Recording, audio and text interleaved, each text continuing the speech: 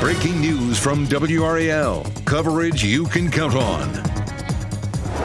Right now at 6, one person was shot at a gas station in Harnett County. What we know about the multiple shooters and the incident that started miles away. And just getting hotter this week, the heat index will be at triple digits as the kids get off the bus this afternoon. And a woman is hurt after a late night shooting at a Raleigh apartment complex. What we've learned about the extent of her injuries. Plus, it is the first day of class for thousands of students at Wake County schools. We have team coverage for you this morning throughout the county and monitoring the roads and weather from right here in the studio for you. And if this is part of your new routine to get school started, thanks for including us. I'm Jeff Hogan. And I'm Renee Chou. The WRAL Pet Squad is here to get you ready for this Let's first go. day of school. That's right. Kids, teachers, and parents, you've got this. Let's do this. Yes, this is a great start here. And if you're headed out to the bus stop, that first day gear, the attire you've put together, you'll be plenty warm. Elizabeth Gardner in the WRAL Severe Weather Center right now getting kids off to school. Oh boy, you know, here we go. It's going to be quite the school year, especially starting off with this heat. Again, this is a live look at Zebulon. The town hall here, 71 is our temperature. So that's a good bit warmer than this time yesterday, but our dew point is actually feeling okay. The dew point is the measure of moisture in the atmosphere. So 65 actually brings us back to nice. Now, so that will keep us from feeling quite as hot, but we will see that heat really building over the next couple of days. Also, watch out in our southern counties for some patchy fog. That's really the only thing that you could run into this morning weather-wise that could impact your travel to work or school. We have 10 mile visibility in the triangle, but it did drop to a half a mile in Clinton. Um, we would be looking at a quarter of a mile to signify some fog around the area. Our temperature in Southern Pines and Roxboro feeling pretty comfortable in the low to mid 60s, but we are looking at 71 in Durham and Raleigh and 70 in Fayetteville as you head out the door. In some cases, temperatures are almost 10 degrees warmer than they were this time yesterday, so do keep that in mind. Hour by hour, heat index again climbing up to 100 about the time the kids get off the bus with actual temperatures in the mid 90s. Coming up, we'll be looking at the potential for some record highs. I'll show you when, Ken. At 6.01, Elizabeth, happening now in the WRAL Traffic Center, we just got reports of Raleigh police working a hit and run crash on, in southeast Raleigh. It's on Sanderford Road at Creech Road. And uh, we wanted to bring it to your attention just in case uh, you're getting ready to head to school. Southeast Raleigh High School is in this vicinity. Right now, we're not picking up any problems right there on Sanderford Road or Creech Road, but just look for some police activity if you happen to be in that neck of the woods. Uh, really a quiet start to your morning commute this morning, which is good news. All the major roads are delay free at this hour. Ken, thanks. Breaking news deputies have been at a gas station for nearly seven hours after a man was shot several times. The investigation is underway at a Circle K gas station in Harnett County. Nick Perlin is there in the WRAL Breaking News Tracker. Nick, you've learned new information within the last half hour. Yes, we've learned that the person who was shot was shot multiple times and is in the hospital in, in critical condition. But we're also learning that Harnett County deputies are searching for multiple shooting shooters this morning. Now, I want to get you to some video from the WRAL Breaking News Tracker so I can show you some of the damage that was left behind here. And you can see the glass front door here of the Circle K is shattered here after a bullet presumably hit it. And you can also see deputies searching through this black car. Now, I will say about two minutes ago, the crime scene behind me has just cleared, but we did learn from deputies that this incident happened in Sanford City about 15 minutes away. And at some point, the shooters ended up here on this Circle K on US 421 near Broadway Road in Harnett County. And that's when they opened fire, striking one person multiple times. We do know no customers or employees were hurt when this shooting happened. But again, at this point in time, we're still trying to get an update on how that person is doing. Again, in critical condition. And we're also trying to find out from deputies if they have any leads this morning on who these suspected shooters are. As more information becomes available, we'll let you know. Live in Harnett County, Nick Perlin, WRAL News. A woman is hurt after a shooting at an apartment complex in Raleigh. The WRAL Breaking News Tracker was on Glascock Street in East Raleigh while police investigated last night. Police say the woman who was hurt is expected to recover. So far, no arrests. Today, thousands of students are waking up early to head back to school in Wake County. All morning long, we have you covered as your back to school headquarters with team coverage. We're tracking school buses from the Wake County Bus Depot and monitoring their progress. First, though, WRAL's Lora Lavigne joins us live from Green Magnet Elementary School with Wake County Schools Superintendent. Laura, good morning. Hey, good morning. Yes, Superintendent Robert Taylor with us now. We know he's among one of many people who'll be welcoming the students back. We thank you for joining us. Absolutely. It's my pleasure to be here, and I'm excited about this return for our traditional students. Absolutely. So, Dr. Taylor, we know you wrapped up your first 100 days on the job back in January, and you said that the district has room to really improve some of the opportunities at really accomplishing a lot of different things. What are some of the lessons learned that you plan to take in this new school year? Well, I think uh, the, the best lesson I learned was to be able to listen to parents and listen to students and know what their wishes and desires are. And as parents, they want to continue to see their students achieve. And we know there's a lot of work that we've got to do to close the uh, uh, the achievement gap between our black and brown students and our other students. Uh, and so our whole work this year is about academic achievement and focusing on curriculum and instruction safety top of mind for a lot of parents, whether it be inside the classroom or at Wake County school events. How, are, how do you plan to tackle some of the issues that we may face this year? Well, we want to continue the work that we've been doing. You know, we have a clear book bag policy when people enter events. Uh, certainly, parents have uh, the opportunity to check in and use our system there that does background checks. Uh, but I encourage everybody to know that safety is really about human behavior and making sure that we follow the rules that are put in place. Those are the things that are going to keep us safe. Thank you, Dr. Taylor. And we'll have some more conversations here with Dr. Taylor with our next interview coming up at 6.30. Lora Lavigne, WRAL News, live in Raleigh. Our team coverage continues with WRAL's Kelsey Coffey live at the bus depot on Rock Quarry Road. Kelsey, as those buses roll out, a new app lets parents track their children's buses. Renee, exactly. So some of those buses have already headed out now. The lot is starting to clear and good news for students and families this year. Every route is covered, but it's normal to have a few delays on the first day. Right now, the district has 578 drivers. That's up from 560 drivers this same time last year. So the school system is seeing some improvement, but there are at least 10 drivers short of their uh, ideal staff numbers. New this school year, there will be a new bus delay notification system. Parents can now receive texts and emails about bus delays. You can also still go on the district's website for updates. So we'll be monitoring delays throughout the morning to make sure that you stay up to date. And so far, there's been no delays. Kelsey Coffey, WRAL News, live in Raleigh. We have you covered this morning in all things traffic related. WRAL's Brett Neese is at the bus lot at West Millbrook Middle School where buses will be hitting the road soon. And Brett, you'll be checking out any bus issues that might come up today.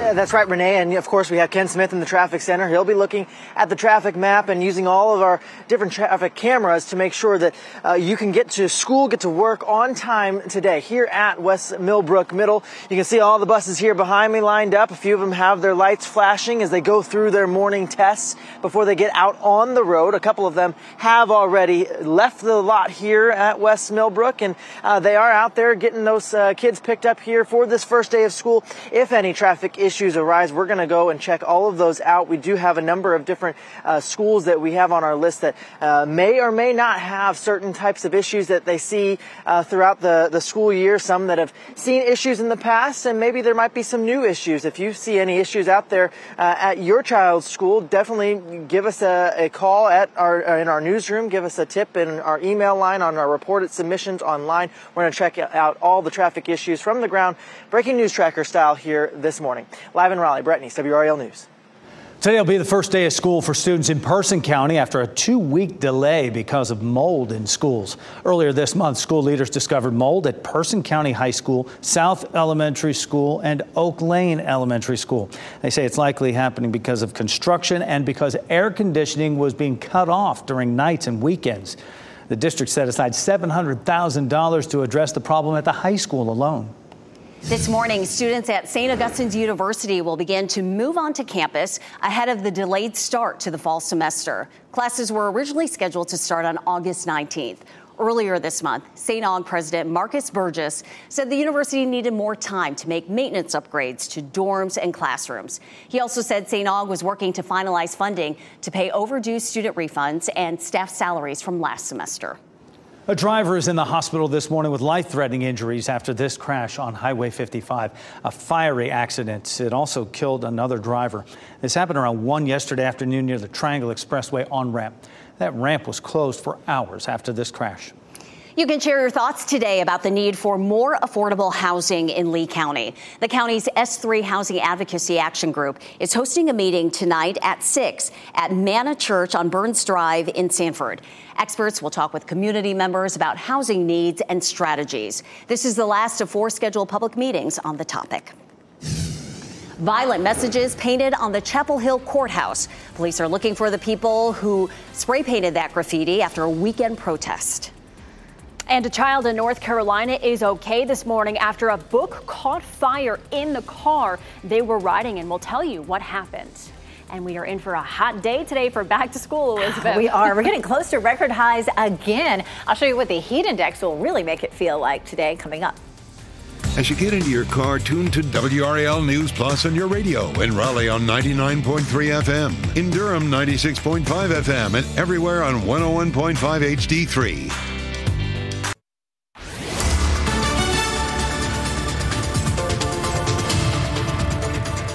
612. And even though we are looking at an extremely hot afternoon today and the next several days, it's on the more comfortable side again this morning. We take a live look at downtown Raleigh. We're looking at mostly clear skies for today. Temperatures are uh, in the 60s in some places, at 64 in Louisburg and Southern Pines. It's 68 in South Hill as well as Rocky Mount and Wilson. Tarboro is at 73. Fayetteville is at 70 right now. But our dew point, the amount of moisture in the atmosphere or humidity, is actually on the lower side this morning. Now, that may change this afternoon. Temperatures are going to climb in into the mid 90s. We will be close to record highs. We are likely to see that heat index really climbing by Thursday. We're also going to transition to a wetter pattern. So thinking about sending kids out the door, they don't need their umbrellas today, but they may by Thursday. Ken?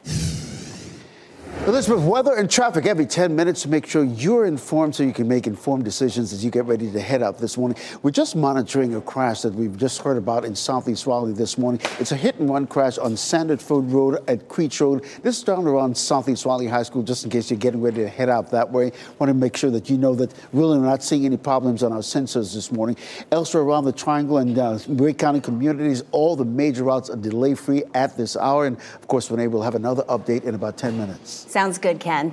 We have an update for you. Remember that U.S. soldier who crossed into North Korea last year? He will plead guilty to desertion. The attorneys for Travis King say he will plead guilty to five of the 14 charges he's facing. Nine other offenses, including possession of sexual images of a child, will be withdrawn and dismissed under the terms of the deal. His plea and sentencing hearing will take place next month at a military base in Texas. King was in South Korea as part of a unit rotation when he crossed into North Korea. Chapel Hill police are looking for vandals who spray painted the town courthouse over the weekend. That's behind some pretty violent messages. The Orange County DA called them despicable. The graffiti appeared after dozens of pro Palestinian protesters held a rally in Peace and Justice Plaza. So far, no arrests have been made. A child in Burke County, North Carolina, is okay this morning after a children's book caught fire inside the car they were in.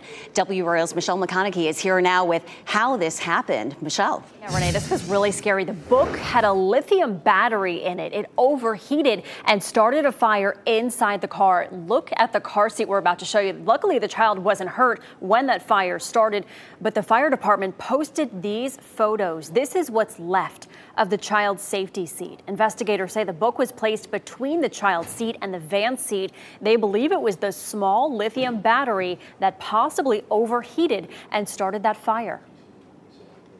The world itself is moving toward lithium batteries, which propose some new troubles to the fire service. Uh, you know, I don't know that they're, other than trying to keep them cool, I don't really know that there is any precautions.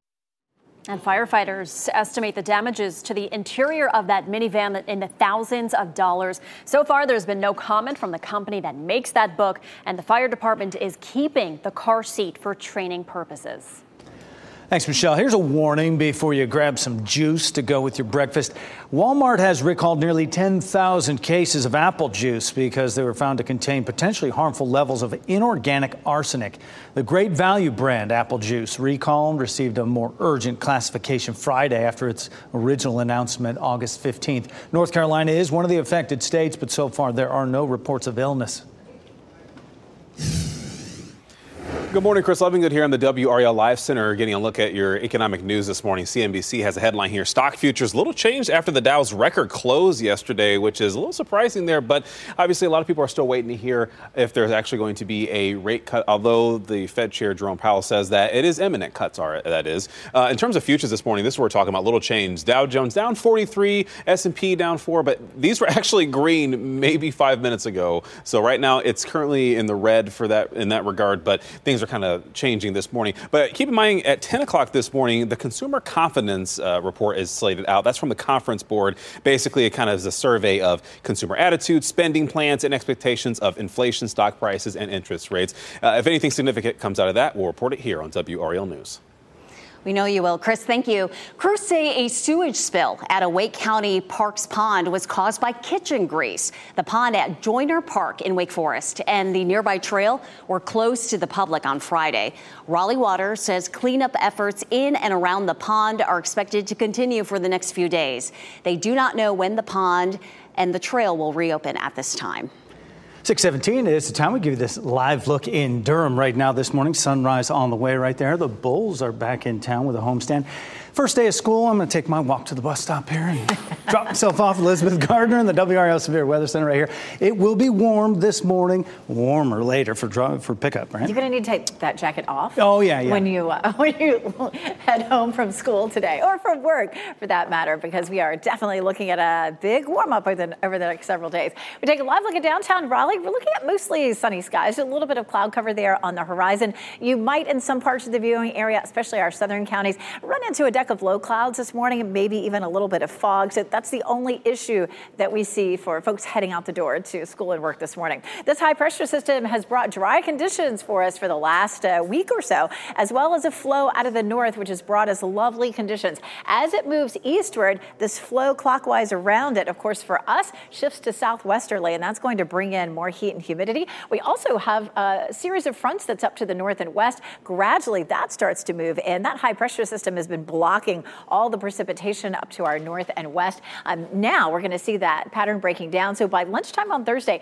there may be some showers near the Virginia line, and then into the mid to late afternoon, we'll see that settling down across our area. And we do have the potential Thursday to have some scattered storms that could be severe. We have a level one risk on Thursday. Those will likely taper off once we get past sunset, but with that front in our vicinity, we'll continue a chance of thunderstorms Friday and for much of the weekend. This is a look at our severe weather threat for Thursday. It's a level one risk, and we'll be watching for that risk as we get through the holiday weekend. Biggest threat Thursday would be wind damage. Still going to stay on the hot side, especially the first part of the holiday weekend will be in the low 90s. The humidity stays high, and again, with that front nearby, we'll continue with that chance of showers and thunderstorms. Also, looking at our tropical outlook, the next seven days, just a 20% chance that this system could develop there in the tropics. But as we get through the next couple of weeks, certainly it's a good chance, 60 plus, that we get another system that will develop. This time of the year is the peak of the season, all the way through October 10th.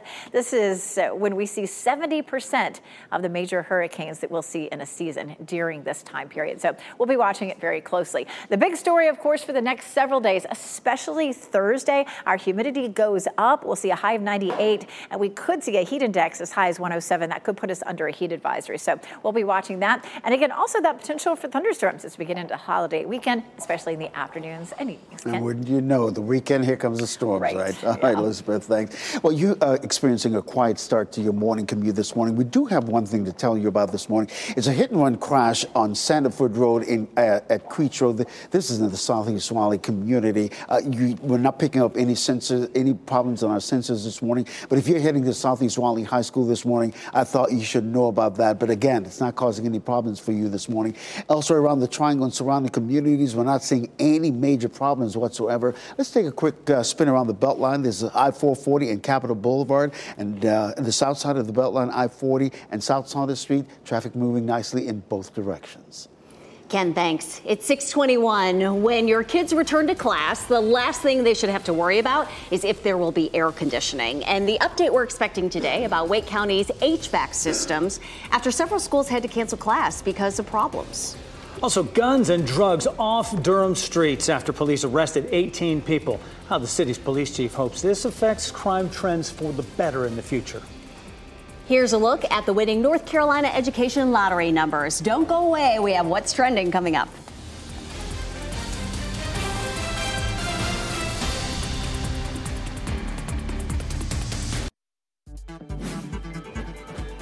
This What's Trending report, sponsored by Rug and Home. Back to school week, and that means our social media feeds will be chock full of those cute little first day of school pictures. We wanted to share our own cute, I don't know, Ken Smith here now with what's trending. Yeah, let's start with a seven-year-old Ken Smith. Aw, yeah, so in- cute. uh, the second grade in Tortola in the British Virgin Islands. Uh, somebody needed to tell me to smile. That's that's all I needed to know about that. I think it's adorable, right? And who's Uh-oh. this little one? Uh-oh. Michelle McConaughey on her first day of school in the first grade. Aw, such a cute outfit. So cute. Mhm. Oh, okay, and this is eighth Oh, grade yes. Renee. A lot going on. Had the perm, had the braces. I took my glasses off for the picture. yeah, middle school was tough. Mhm. But you survived. I'm going to drop it back a grade there. Seventh grade. yes. Yep, Jeff Travolta. Staying alive. Staying alive there. Oh, Oh, Jeff, that was quite the That- look. you know Yeah. what? That was the 70s, you know? Yeah. Late, late 70s. It kind of fit the whole deal. You were in style, my friend. and of course, you can see all these pictures, begrudgingly, on WRAL.com. Trying to keep, you know. just See if you can recognize those the- uh, rascals. Yeah, Yeah. keeping up with the style these days, you know. Ken, thanks for that down memory lane there. Caitlin Clark, meantime, adding to her records, impressive as they are, rookie season in the NBA, WNBA. She made four three-pointers in the Indiana Fever's win last night over the Atlanta Dream, so that gives her 85 three-pointers on the season. That ties a WNBA record for a rookie. Still 10 more games left in the season for Clark to add to that total. And of course, the heat is on as we get through this week. We're going to see highs this afternoon in the mid to upper 90s, and it'll be a warm night tonight. I'll show you when we could get hot enough for a heat advisory coming up. And a new school year means new bus routes coming up, how we're monitoring bus delays before your student heads off to school.